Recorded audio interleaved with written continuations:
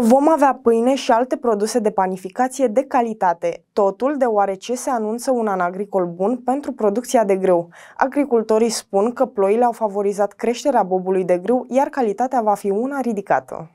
Agricultorii au pregătit deja hambarele pentru recoltarea grâului. Producția de anul acesta se anunță a fi una foarte bună, după cum arată în prezent această cultură, și prețurile se estimează a fi bune pentru noua recoltă. Anul acesta, fermierii estimează producții de 7 tone pe hectarul cultivat. Cea mai mare parte a producției de grâu din comuna Burila Mare merge către firmele de profil din țară. În felul acesta, produsele de panificație din producția autohtonă ajung tot pe mesele românilor. Cum arată, se vede foarte, foarte clar, are spic frumos, fără buruiană, fără boli, deci este un grâu excepțional.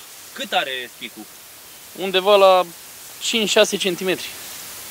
Cât palma aproape? Da, cât palma, da. Este... Arată foarte bine. Asta ce înseamnă? Că va fi o producție Producție, bună? estimez undeva la 6, 7, 8, chiar 8 tone pe hectar. Va fi o producție foarte bună. După un 2020 foarte dificil pentru fermieri, cu pierderi și producții mici provocate de secetă, situația din teren dă producătorilor motive de optimism pentru acest an agricol. Vom avea pâine pe masă? Vom avea cu siguranță pâine de bună calitate. Datorită faptului că a fost un an bun, vom avea și o recoltă pe măsură.